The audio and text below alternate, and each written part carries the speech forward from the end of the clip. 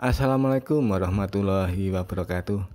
Cara membuat APK menjadi 32 bit saja atau 64 bit saja.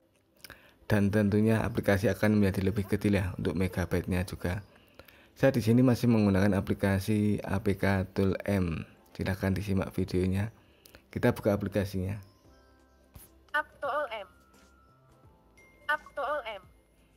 Nah silahkan teman-teman cari di mana teman-teman menyimpan foldernya ya yang sudah dibongkar atau diekstrak ya.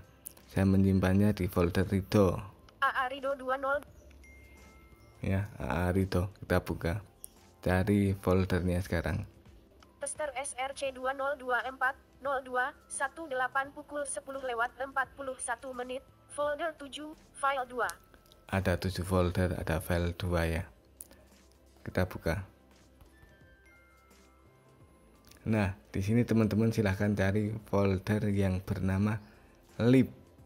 Lib 2024 02 18 pukul 10 lewat 41 menit, folder 2, file 0.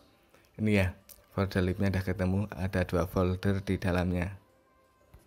Arma Abi V7A2024 02 18 pukul 10 lewat 41 menit, folder 0, file 3. ARM ABV 7A ini untuk yang khusus 32 bit. Coba subscribe ya.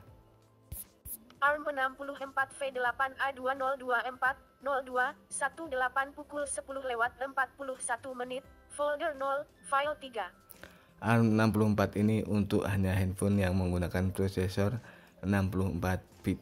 Jadi bagi handphone yang menggunakan prosesor 64 bit itu bisa menggunakan 32 bit juga bisa menggunakan yang 64 bit.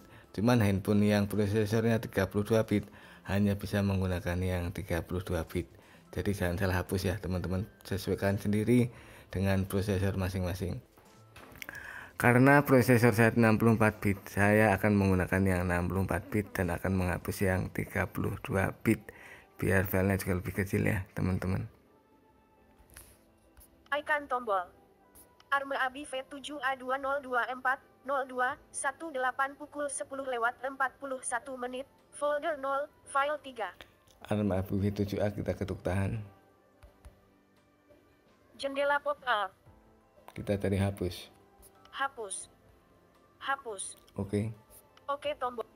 Up to all M.